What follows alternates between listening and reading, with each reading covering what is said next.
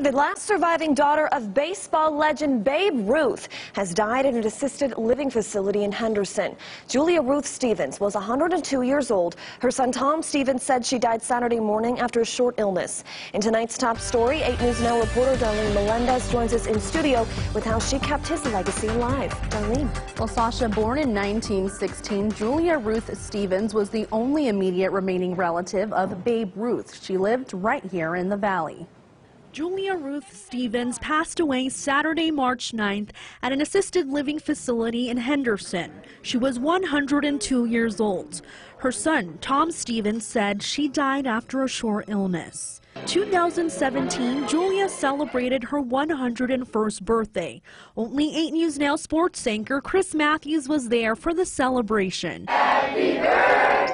Surrounded by cupcakes, the Green Valley Little League team, friends, and memories of her father, Babe Ruth. He never, ever turned down an autograph. I wish he was still here. She was the only immediate remaining relative of the great Bambino. Ruth adopted Julia when she was 12 years old after marrying her mother. I was his adopted daughter, and he gave me his name. And to me, that was the greatest thing that ever happened. Adopted or not, she knew the game's greatest only one way Daddy.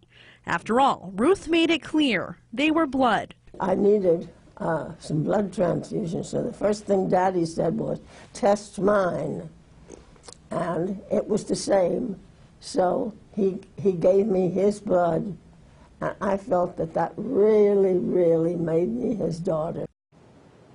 Julia moved from Florida to Arizona in 1992 after Hurricane Andrew. She then came here to Nevada. Her remains will be cremated in New Hampshire. She would have been 103 later this year. Sasha.